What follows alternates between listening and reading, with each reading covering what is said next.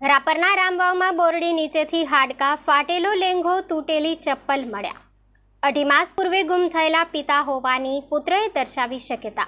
અઢી માસ પૂર્વે રાપર તાલુકાના રામવાવ ગામથી ભેદી સંજોગોમાં ગુમ થયેલા અઠાવન વર્ષીય આધેડના ગામના સીમાડે આવેલી બોરડી નીચેથી કપડાના ચિથરા તૂટેલી ચપ્પલ અને નાના નાના ત્રણ હાડકા મળી આવ્યા છે. આધેડના પુત્રએ પિતાના બોરડી પર ગળે ફાંસો ખાઈ લીધો હોવાની શક્યતા જણાવી મૃતદેહને જંગલી જાનવરોએ ફાડી ખાધો હોવાના અનુમાન સાથે પોલીસને જાણ કરી છે. પરિવારજનોએ તેમની ખૂબ શોધખોળ કરેલી, પરંતુ તેમનો કોઈ પતો મળ્યો ન હતો. બનાવ અંગે પરિવારજનોએ ચોવીસ ત્રણ બે હજાર બાવીસના રોજ રાપર પોલીસ મથકે ગુમનોંધ દાખલ કરાવી હતી.